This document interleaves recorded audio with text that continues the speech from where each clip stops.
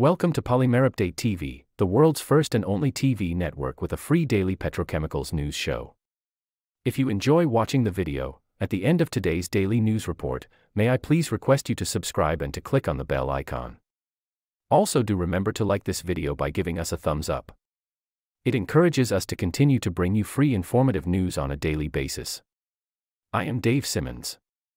It is Thursday, December 21st. Let's start with energy and feedstock news. Crude oil prices gained on Wednesday amid rising geopolitical tensions in the Red Sea, which continue to rattle global energy markets with concerns mounting over potential trade disruptions and rising shipping costs. Brent crude prices rose by 0.47 cents, settling at $79.70 per barrel, while WTI futures increased by 0.78 cents, settling at $74.22 per barrel. On Wednesday, Open spec naphtha prices gained by $13 per metric ton at the $709 per metric ton CFR Far East Asia levels. On Wednesday, styrene monomer prices marched higher on account of bullish buying sentiments in Asia. On Wednesday, FOB Korea SM prices were assessed at the 1,020 to $1,030 per metric ton levels, an increase of $30 per metric ton from Tuesday's assessed levels.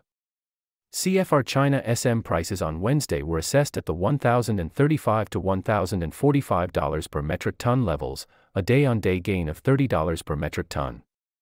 On Wednesday, ethylene and propylene prices were assessed flat in Asia. On Wednesday, ethylene prices rolled over while propylene prices inched lower in Europe.